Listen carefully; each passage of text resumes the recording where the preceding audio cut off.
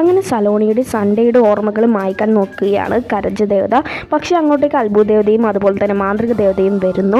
പക്ഷേ അവർക്ക് രണ്ടു പേർക്കും കൂടി അവരെ തടയാൻ സാധിക്കുന്നില്ല.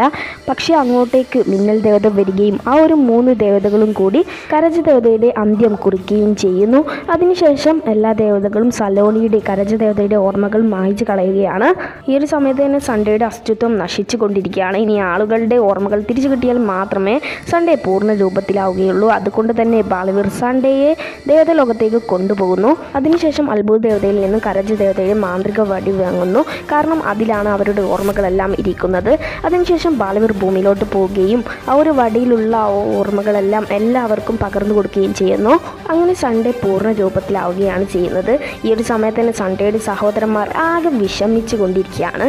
അവിടേക്ക് സൺഡേ വരികയും എല്ലാവർക്കും വളരെയധികം സന്തോഷമാവുകയും ചെയ്യുന്നു. ഈ ഒരു സമയത്ത് തന്നെ ഭൂമിയിൽ സലോണിയുടെ ബർത്ത്ഡേക്കുള്ള ഒരുക്കങ്ങൾ നടക്കുകയാണ്. അവിടേക്ക് സലോണി ഫെയറുടെ വേഷത്തിൽ വരുന്നു. പക്ഷേ അവൾക്ക് ഒരു വിഷമം മാത്രമാണ് ഉള്ളത്. അവൾക്ക് ചിറകില്ല. ഈ ഒരു വിഷമം ബാലവീർ കാണുകയും അത്ഭുതദേവതയുടെ ശക്തി ഉപയോഗിച്ച് സലോണിക്ക് ഒരു ചിറക് ഉണ്ടാക്കി കൊടുക്കുകയും പറപ്പിക്കുകയും ചെയ്യുന്നു.